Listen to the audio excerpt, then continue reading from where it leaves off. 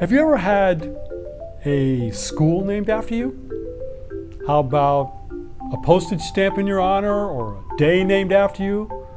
Maybe an asteroid? How about a ship? Well, probably most of that of us have never had that anything like that happen. But there was a little girl, just 10 years old. All of that happened to her. Her name was Samantha Smith. She became worried that there was going to be a big nuclear war between Russia and the United States.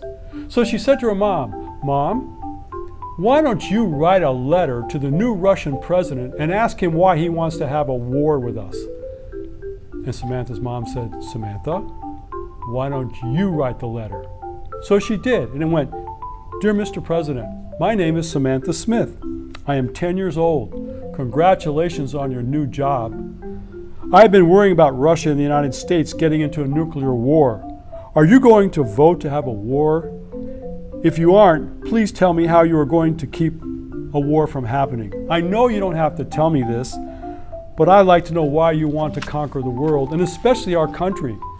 Because you see, God made the world for us to live together in peace and not to fight.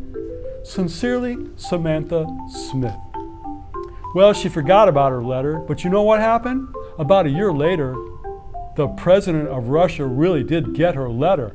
In fact, it was all in the Russian newspapers, and everybody wanted to know what it said and was the president going to write back to her.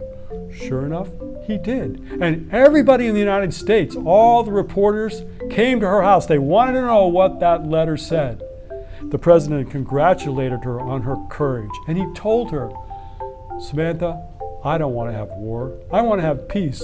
Peace for our country and all the countries of this planet. And for children. And for you, Samantha. And then he invited her to come to Russia. So she did with her family.